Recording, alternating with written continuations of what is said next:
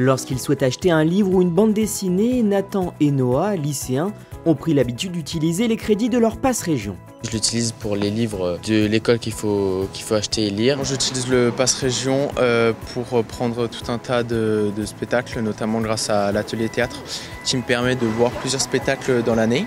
La région Auvergne-Rhône-Alpes, appuyée sur son réseau de 1000 partenaires culturels, finance ainsi aux bénéficiaires du Pass Région un accès gratuit et illimité aux musées, expositions et diverses visites guidées. Et donc il va ou les racheter ou alors euh, il va simplement les garder sur lui. La culture française qui pour moi est importante, on n'a peut-être pas toujours les moyens de la découvrir et là c'est, je trouve ça que c'est une bonne idée euh, de la découvrir euh, à travers le Pass Région. Âgés de 15 à 25 ans, ils sont 370 000 bénéficiaires à profiter chaque année des nombreux avantages du Pass Région.